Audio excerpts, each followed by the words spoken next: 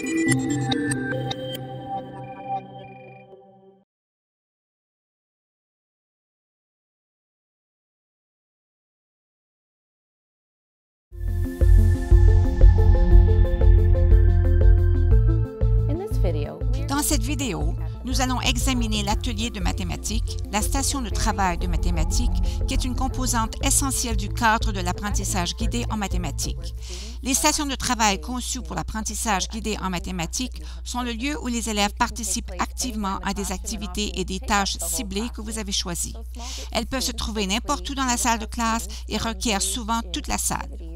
Des petits groupes, habituellement composés de 3 à 5 élèves, participent à des activités ou à des tâches que vous, l'enseignant, avez choisies, sur lesquelles ils peuvent travailler pendant que vous vous occupez d'un petit groupe d'élèves.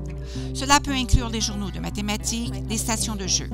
Vous pouvez avoir une station équipée d'ordinateurs. Vous pouvez aussi avoir une station où les élèves travaillent de façon indépendante sur des tâches que vous avez élaborées pour eux.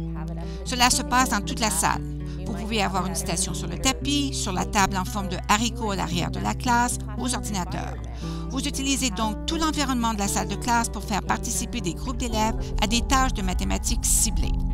You can pick whichever playing card you want with your partner. Make sure it's one that you can do. If your partner and you are having a really hard time with one, pick a different one. So when designing Lorsque vous élaborez une tâche de mathématiques pour chacune de vos stations, vous devez examiner votre programme d'études afin de vous assurer que la tâche est ciblée et qu'elle appuie vraiment l'apprentissage des élèves. Vous devez aussi vous assurer que chacune de ces stations permette une différenciation. Nous savons que les élèves apprennent tous à des rythmes différents. Chacune de vos stations devrait donc permettre aux élèves d'aborder les tâches selon leur niveau. Par exemple, pour les jeux, vous pourriez prévoir plusieurs dés de 6 à 12 faces. De cette façon, les élèves de tout niveau peuvent participer activement à leur apprentissage. So whenever we start um, any new activity, we do it on its own first before I expect them to do it by themselves with no teacher guidance and no help. So when we first started doing the guided math within our math rotations with our station work, what we did was we would make sure that we really had that one station down. So we'd really only be doing one activity. And then we add another one on. So there's two stations. Then we could add another one on, there's three. And what I really looked for for activities was making sure that whatever activities we did were flexible so I don't have to teach 100 different games. I can teach 10 different games and they're really versatile and can be moved around a lot with different subject areas, different concepts, but the core of the game is the same and I don't have to reteach it all the time. Vous devez commencer petit. Il est donc très important de commencer par une seule station. Il faut prendre le temps de bien mettre en œuvre cette station, de bien réfléchir aux attentes d'une station de mathématiques. Vous aurez peut-être envie de créer un tableau d'ancrage pour vos élèves qui indique le comportement souhaité à cette station de travail.